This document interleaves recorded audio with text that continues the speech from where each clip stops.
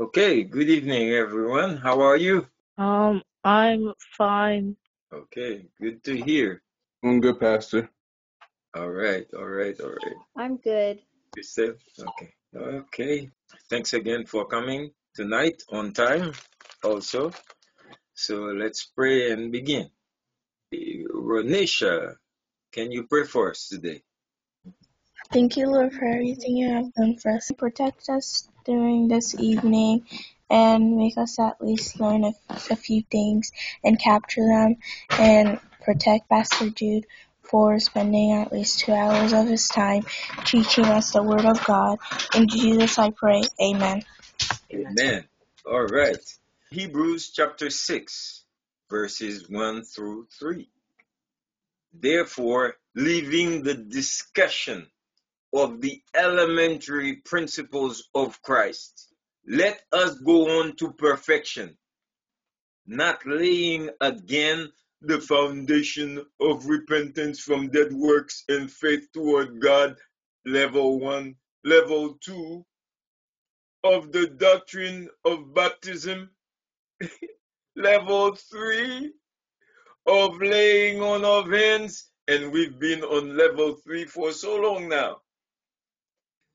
And because level four will be of the resurrection of the dead. Level five, eternal judgment. And after level five, now we go on to greater things that people only try to imagine. So, this verse 3 we will do if God permits. And I know God has been permitting this. Okay, so let's go. This is our sixth session, post baptism session. And uh, it has to do still with the laying on of hands. You see, the title is always there, guys. you can't miss it, right? But tonight, I'm going to talk about the Christian benefit. Remember what we left off talking about? It was Jesus ministering to people and teaching Peter, James, and John how to minister to people, the laying on of hands, etc. But look, in Matthew chapter 19, Jesus was practicing it in front of everybody. Okay?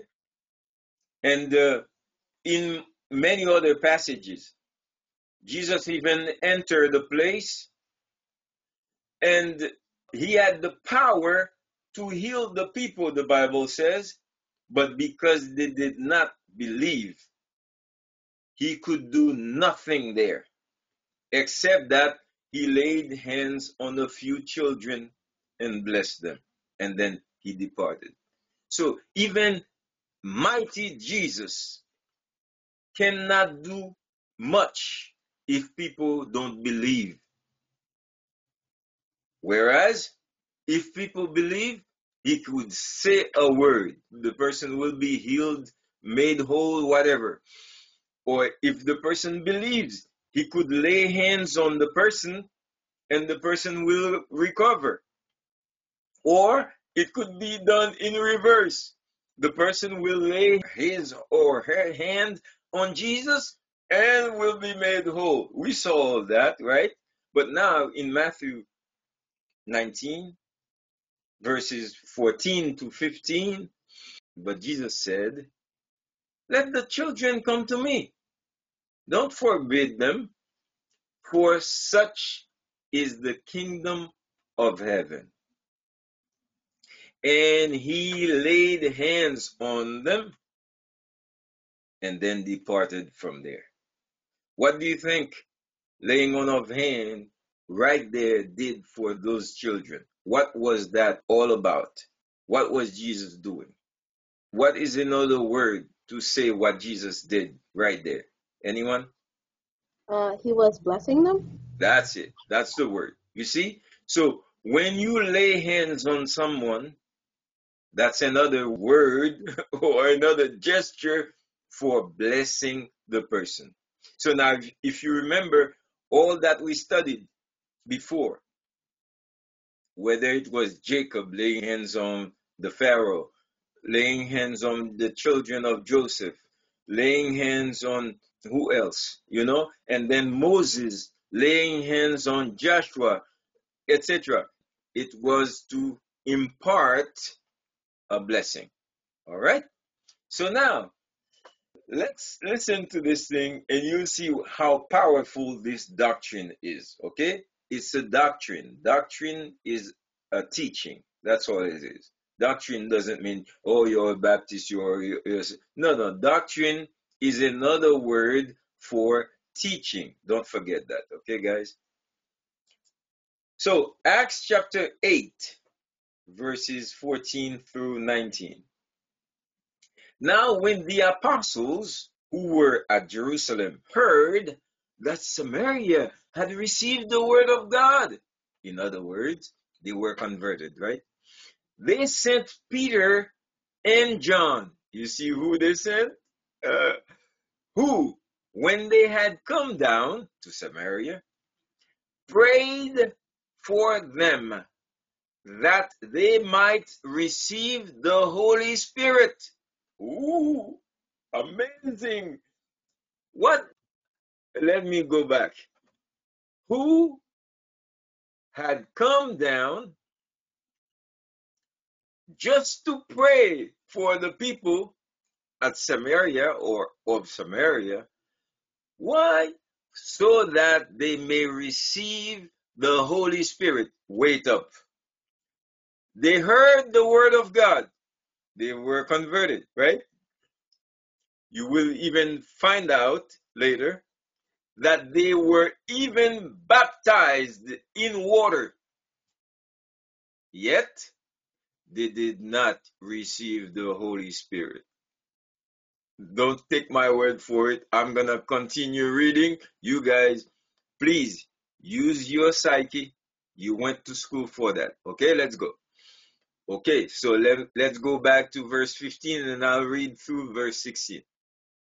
Who, Peter and John, when they had come down, they prayed for them that they might receive the Holy Spirit. For as yet, the Holy Spirit had not fallen upon none of them. They had only been baptized in the name of the Lord Jesus.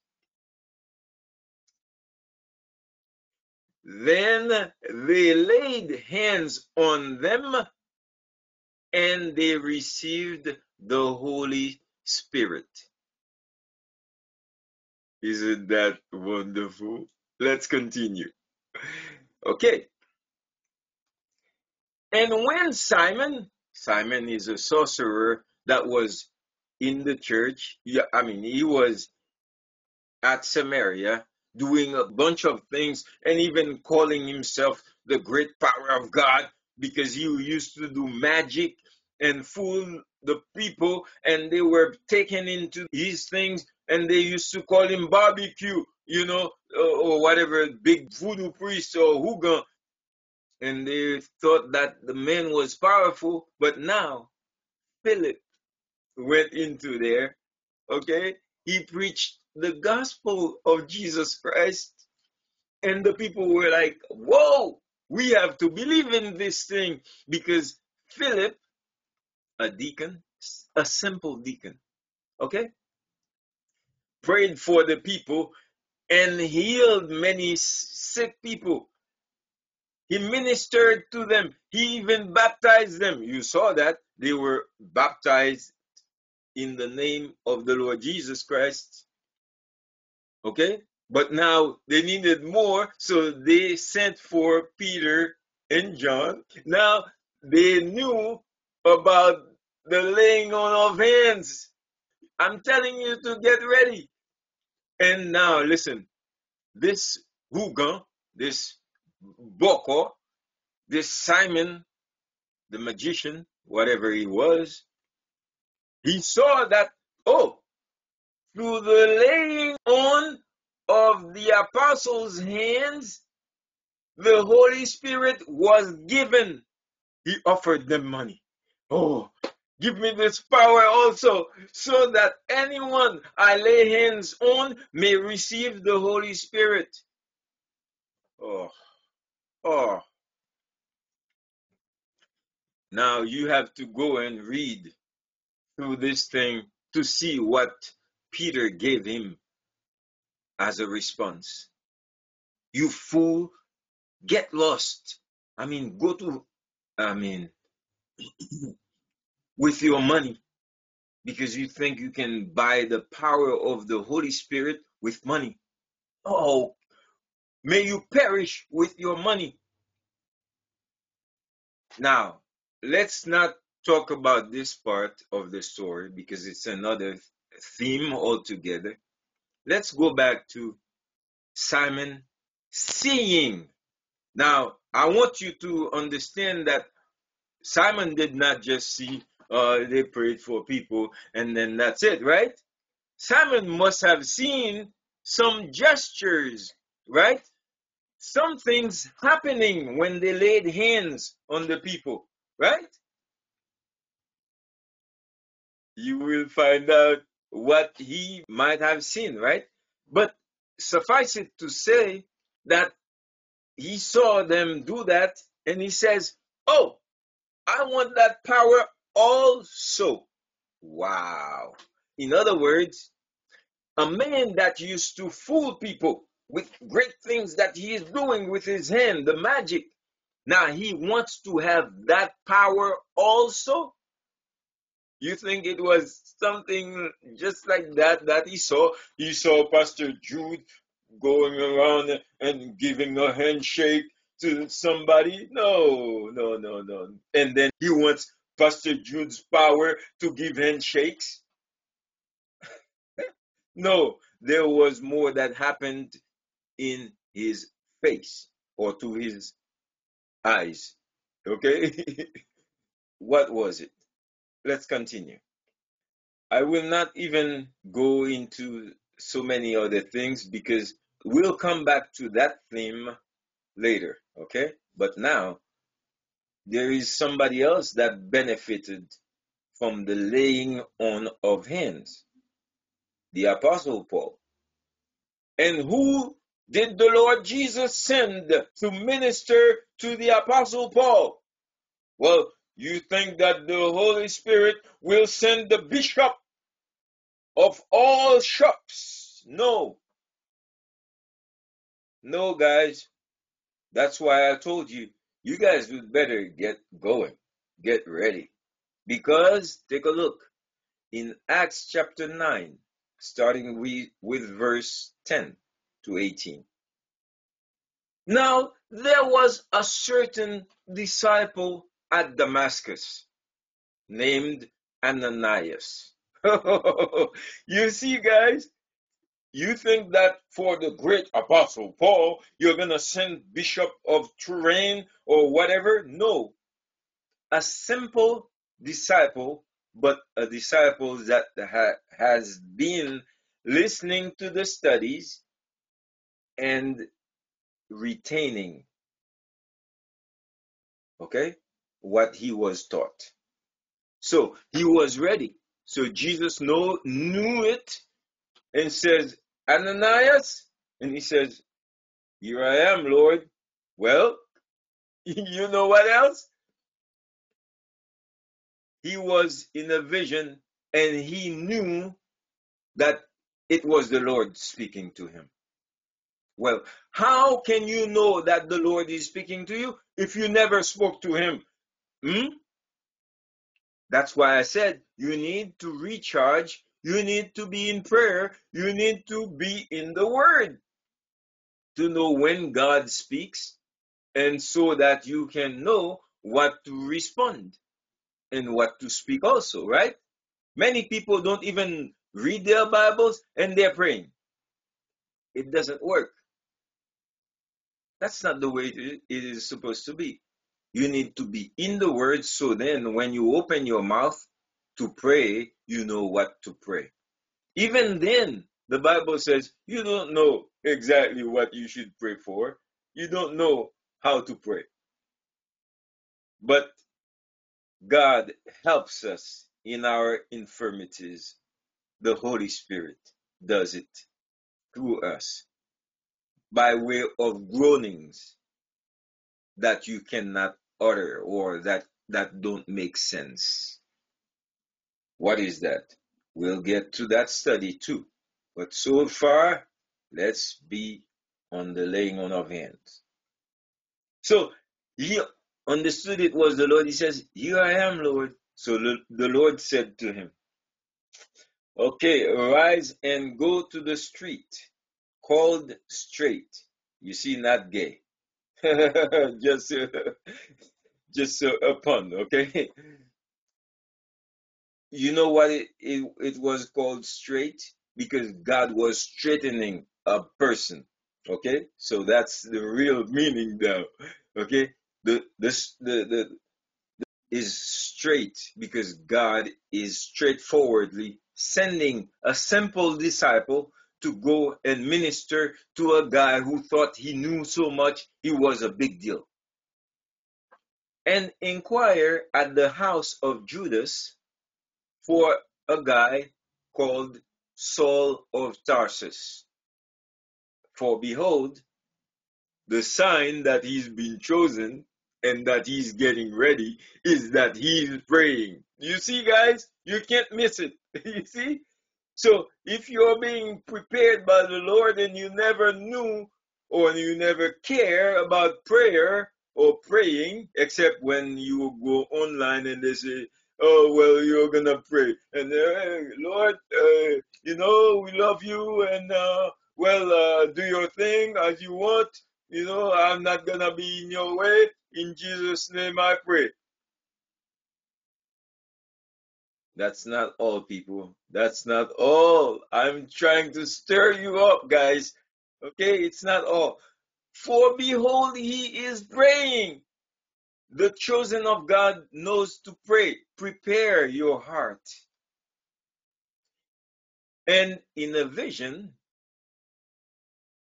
this guy called Saul has seen you. Do you see what's happening?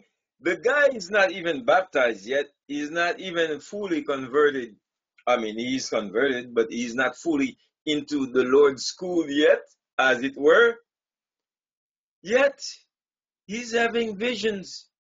And he has a clear vision that a guy named Ananias is coming to you.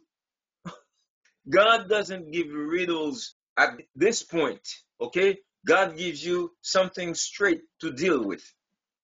A guy named Ananias is gonna come to you. And you, Ananias, you're going to go to this place and you'll find a guy named Saul of Tarsus.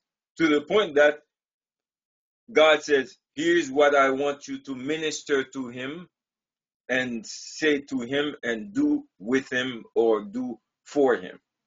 Okay, listen to the, the, the story because it's from the Bible, right? So go, he has seen in a vision that you are coming.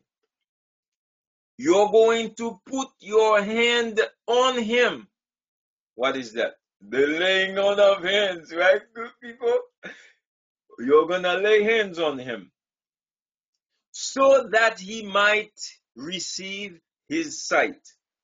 Wow. Didn't I tell you last week that this thing about the laying on of hands is amazing, right? Okay, let's continue. Then Ananias answered, Lord, what? You're sending me to this guy? I heard what he's doing. I heard many things about this man. How much harm he has done to your saints in Jerusalem. And you're sending me to him? And here he has authority from the chief priests to bind all who call on your name, Lord. I know. But the Lord said to him, Yeah, I know. Go because he is a chosen vessel of mine who is going to bear my name before Gentiles, kings, and the children of Israel. For I will show him how many things he must suffer for my name's sake. Well, if you were Ananias, would you have gone? And when you go, what will you have to do? Right? Because Saul is there all by himself, and the Lord says, Christel, go, I mean, Ananias, you know, go and lay hands on this guy named Paul, etc. When you get there, you'd better obey. You'd better be ready. You'd better be fully charged. Otherwise, you will lose all your charge when you appear before Paul, the, the old criminal, right? Well, what did Ananias do? Verse 17 Ananias went his way and entered the house, obedience. And laying his hands on Paul, he said, Brother Saul, ay, ay, ay. Do you see what's happening, people? He called him brother. In other words, Paul was converted, right? Not only that, what did he do? Yep. Okay, now suppose he had gone in there and he said, uh, uh, let me give you a handshake. Well, let me bump, you know, etc., because COVID is there. What do you think would happen? Yeah, COVID is trying to take away some of our doctrines, but it can't. Okay? So the Lord says to lay hands on the sick. At this stage, you cannot be afraid of a sick person because the Lord said to lay hands on the person. And somebody may say, oh, no, COVID is too big for us to do that. Well, guess what? COVID, COVID is not necessarily transferred through the laying on of hands because you can wash your hands afterwards, but it can truly be transferred through the uh, smelling of the nose or something, right? so we have to be careful to be obedient to the Lord's commands and not to relent because of some foolish things that happens to the world or in the world okay? We guys have to listen to the lord because brother saul the lord jesus who appeared to you on the road as you came how did you know? You see when you have contact with the lord you know things. Anyway let me go. He has sent me so that you can receive your sight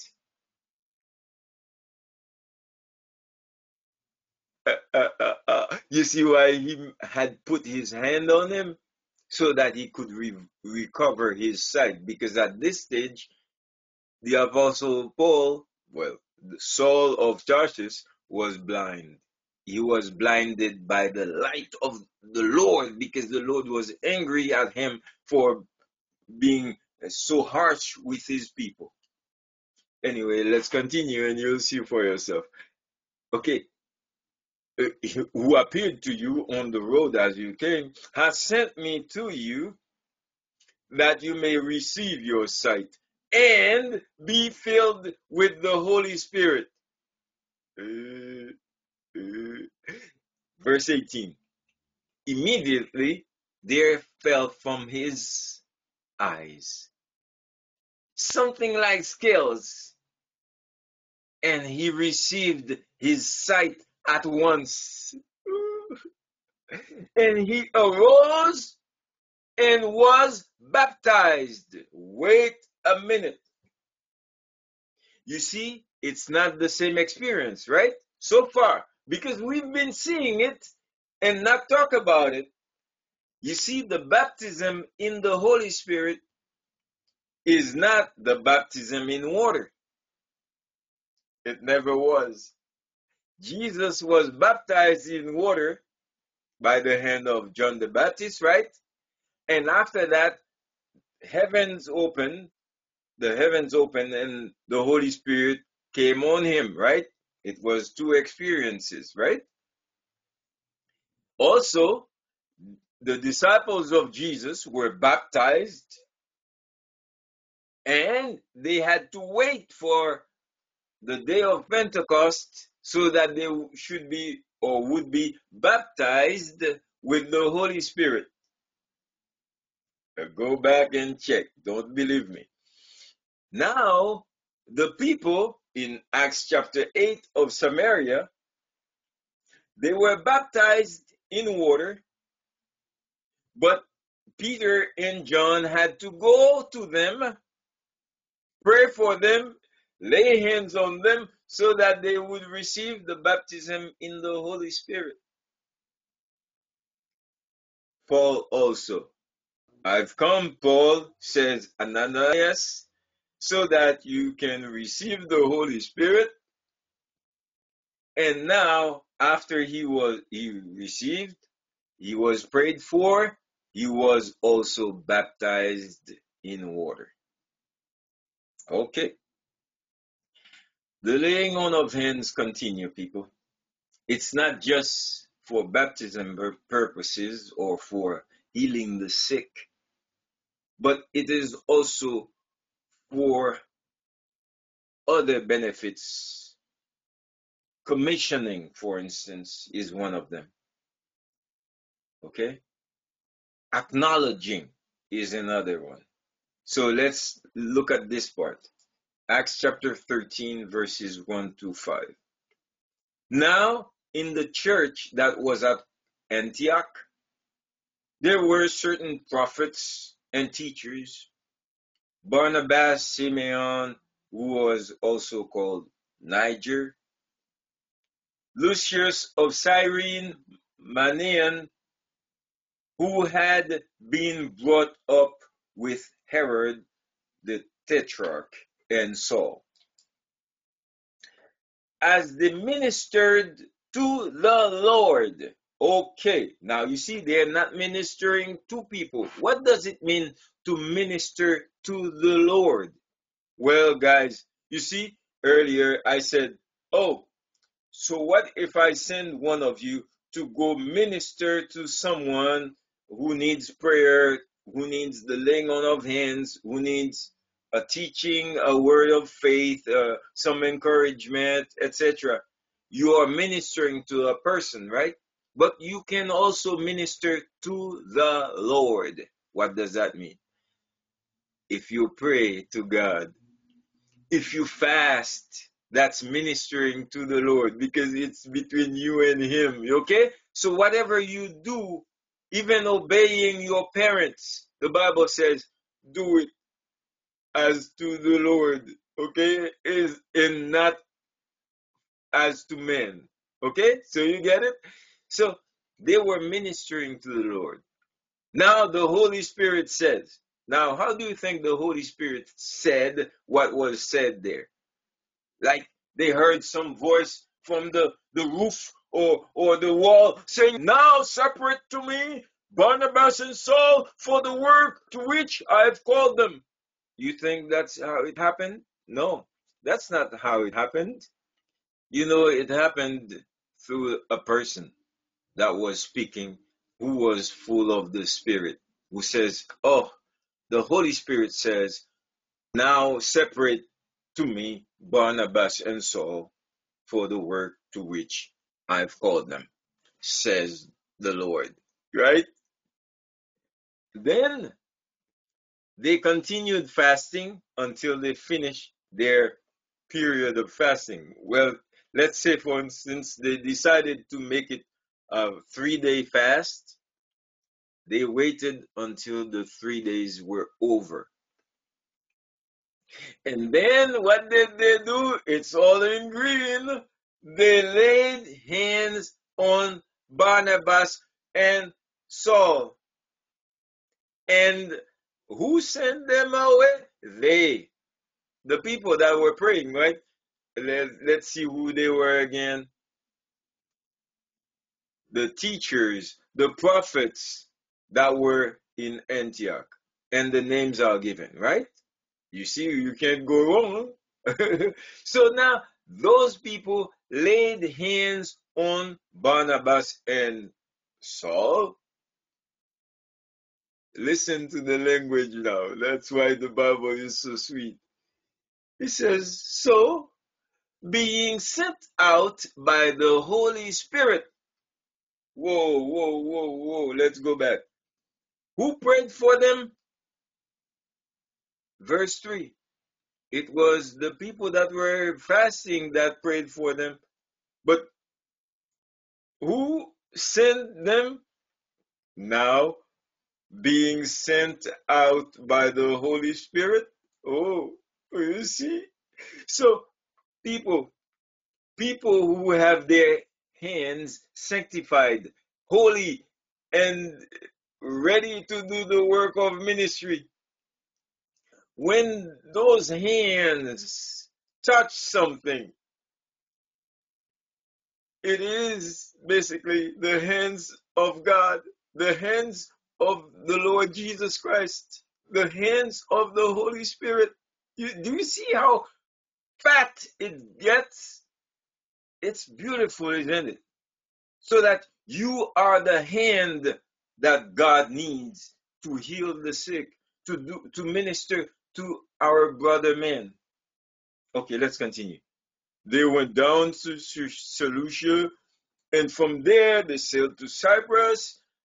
And when they had arrived in Salamis, they preached the word of God in the synagogues of the Jews. They also had John as their assistant. John, yeah, John Mark as their assistant. He is the one who wrote the book of Mark. Okay? All right, let's go. Now,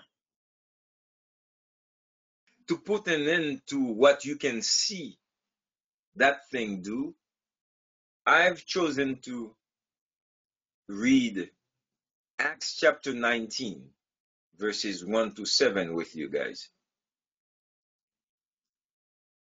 It happened while Apollos was at Corinth that Paul, having passed through the upper regions, came to Ephesus. Ephesus? Okay, when you read the book of Ephesians, you will know when Paul met the Ephesians, right? So in the book of Acts, so it's Acts and then uh, Romans, Corinthians, etc. And then you find Ephesians where Paul would write them a letter. But the letter stems from this encounter, okay? So Paul came to Ephesus, to the Ephesians, right? And he found some disciples there because they were like dead church disciples. He said to them, Did you guys receive the Holy Spirit when you believed? Paul, you're going to be in trouble for this. Let's listen to them. So they said to him, Hmm, what is this thing about the Holy Spirit? We have not so much as heard whether there is a Holy Spirit. Did they call themselves disciples? Yeah, disciples of what?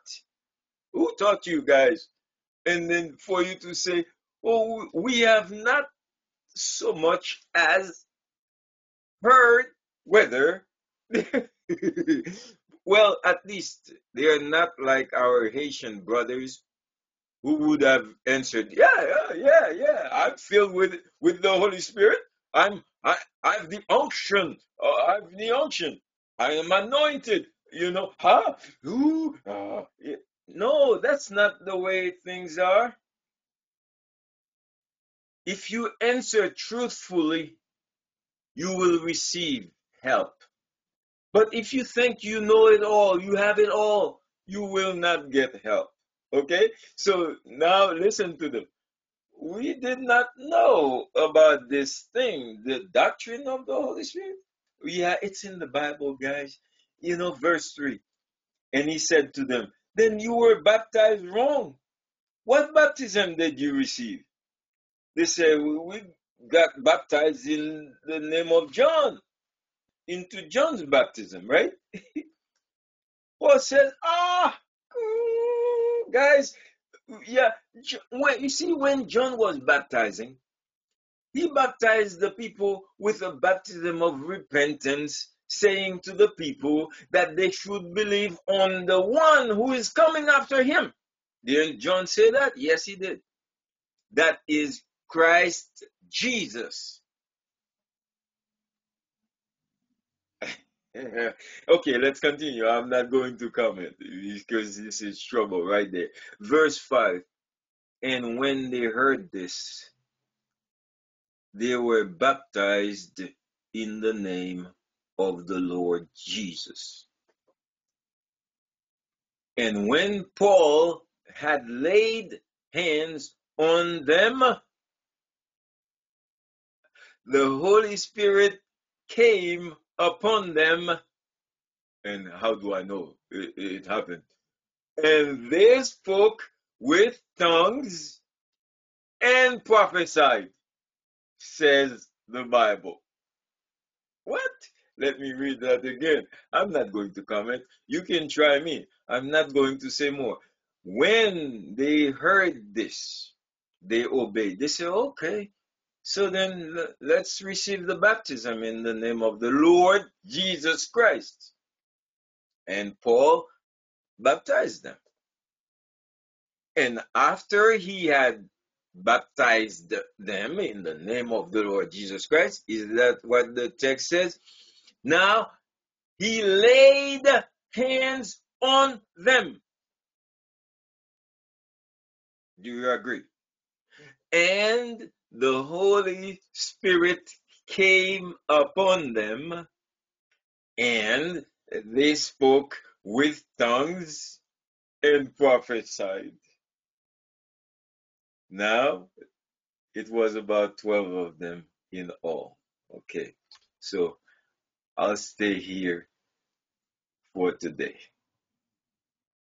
Did you guys learn something new or troubling or something valuable that you're gonna double check because that's the way Christians should do it. When somebody teaches you something, you can receive it and say, Oh, I'm gonna check that out. Well, that's why my teaching stemmed from the, the Older Testament to show you how people ministered with this thing. I did not start with the New Testament because the New Testament explains what the benefits were, but it started way back. All right? Anyone has a question or issues? No. Okay, let me ask a different question. Did you guys understand this teaching today? Yes. Remember Mark chapter 16, verses 15 to 16. He says, These signs will follow those who believe. In my name, they will speak in tongues. In my name, they will lay hands on the sick, and the sick will recover. In my name, they will kick out demons out of people's psyche or life. In my name, they will even raise the dead. But who can do that? Any one of us can do it. Don't be surprised if the spirit of faith should come on the littlest person among us. And then that person she or he would go where somebody just dropped dead and the spirit of faith come upon you. That we will talk about also that the Holy Spirit can just give you some faith to raise the dead immediately on the spot, etc. That doesn't mean that that faith is going to stay with you forever. No, that's like a, a gift that you're given at the moment for this cause and you just go and you say, let's say the person is called Brother Don Don, right? Brother Don Don, in the name of Jesus Christ, rise up.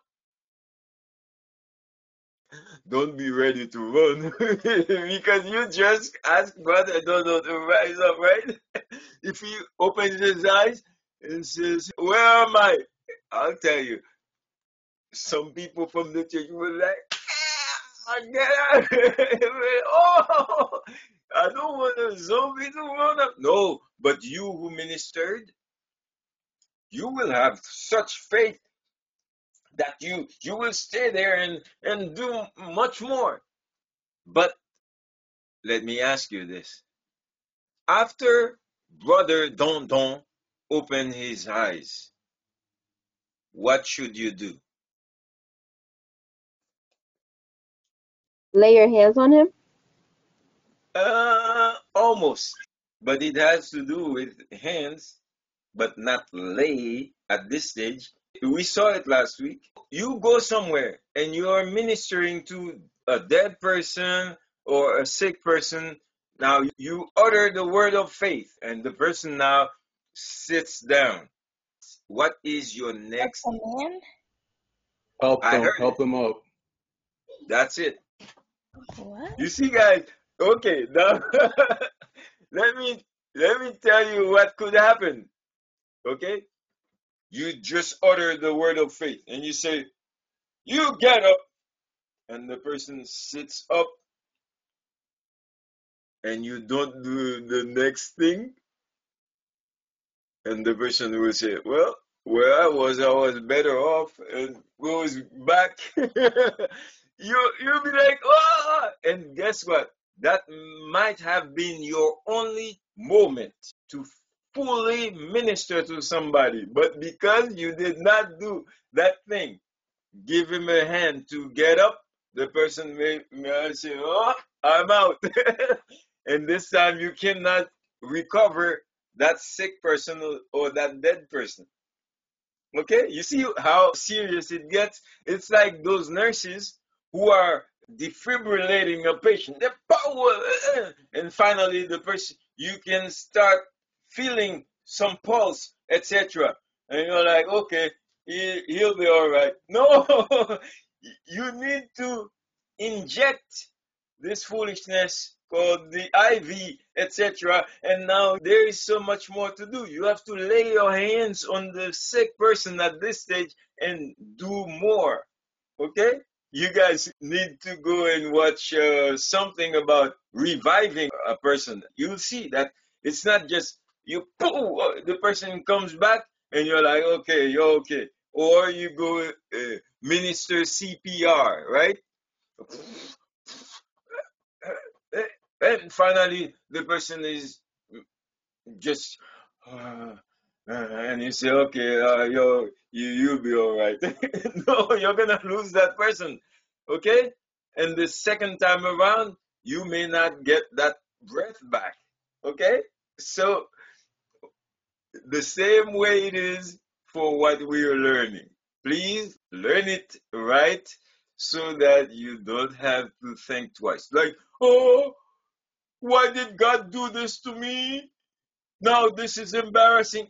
No, God did not do it to you because God wanted to do something through you, but you were not fully trained or you did not fully get to where He wanted you to get because you were not listening critically. So, too bad. All right. Okay, let's uh, finish for tonight. So I hope that you guys see that all I'm teaching you is fully in the Bible and black on white. But although it's like this, I still want you to go back and verify the teaching, verify me to see if I'm telling the truth at all times. All right? I can point you to where it is all written. The Bible, guys, the Bible. Okay? Make it your your book. Okay? Your reference. Let's pray. Lord, I thank you for these children that you are preparing. If you ask me, I would say that we are not there yet. But I know that uh, sometimes we have Peters in our midst, we have Johns, we have great Apostle Pauls, etc. But we don't know it, but you do. And so I'm going to continue to teach them because I know that the day they get it, they will be your ministers for life and for the truth of your gospel that no one, not even the devil, will be able to test. So continue preparing them and help them to realize that they're called for a great purpose. Encourage them, Lord. I can't. Bless them. I can't. Help them. In Jesus' name I pray. Amen. It was a pleasure being with you again. So I'll see you next Thursday with the final phase of the laying on of hands. Okay?